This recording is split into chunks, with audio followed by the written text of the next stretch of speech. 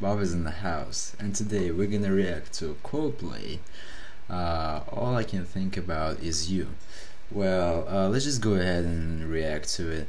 Uh, I'm just gonna say that uh, before we get into before we get into it though, uh, I just want to say that uh, I love Coldplay's music, and really, like throughout the years, they have never disappointed us. well, only my personal disappointment was just like this with the Chainsmokers song, but it's just me. Uh, so let's just get into it. Coldplay. All I can think of is you. First reaction. Let's go. Okay. One, two, three. Hey, I like what I'm hearing. so we're gonna get like more fun vibe, more enthusiastic vibe, rather than uh, hypnotized single of, of this uh, Kaleidoscope EP. Well, actually, like the lyric video uh, dropped with the song, and uh, it looks very dope. Like I'm watching it right now. it's really dope.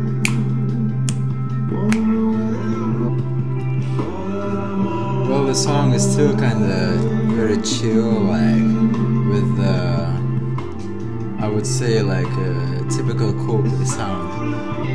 But I like this more than Hypnotized. And oh, damn.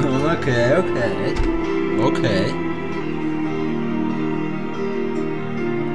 I love this dramatic piano switch, it's so dope. Oh my god.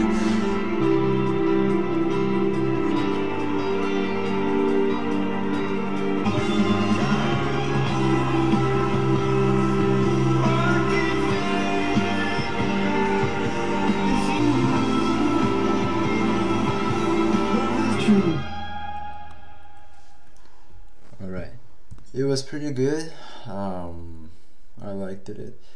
Um, so now like already two singles from uh, Kaleidoscope EP, uh, which is coming on July 4th, I believe.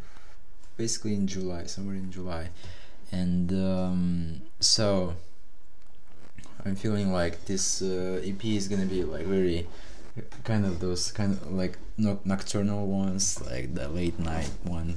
It's kind of like um, the older Coldplay style of uh, making music, where uh, you've got Chris Martin singing and uh, having like really chill and like sometimes sad, but sometimes dramatic, but sometimes still like um, pleasant to ears kind of sounds, you know, like uh, to listen to, and that's what's happening over uh, this track and um, I'm feeling like uh, the Kaleidoscope EP is gonna be like very chill and uh, like old sound uh, Coldplay EP, which is for some fans for sure is good.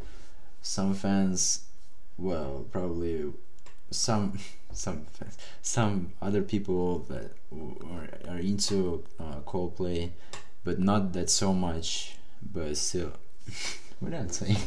anyway, so the people who like Coldplay but are not fans probably maybe will not appreciate this that much because like you know uh, we were hearing from them kind of very enthusiastic uh, songs like uh, Adventure of a Lifetime or uh, Hymn for the Weekend, Sky Full of Stars, you know, like tracks like that.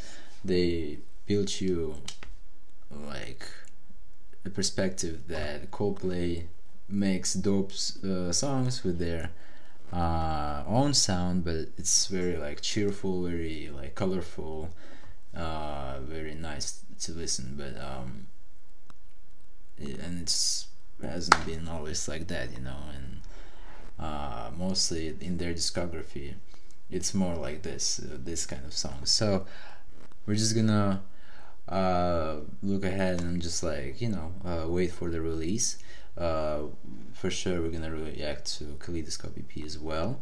And so just like uh, I want to uh, give my um, opinion on that EP and on what I'm hearing kind of later uh, but for now just check it out check check out the song. Uh, it's pretty good. I will uh, give you a link down in the description below in the description box below. So uh, yeah that's that's it. Um, hit the like button if you like this video subscribe to this channel and I'll see you on the next one. Bye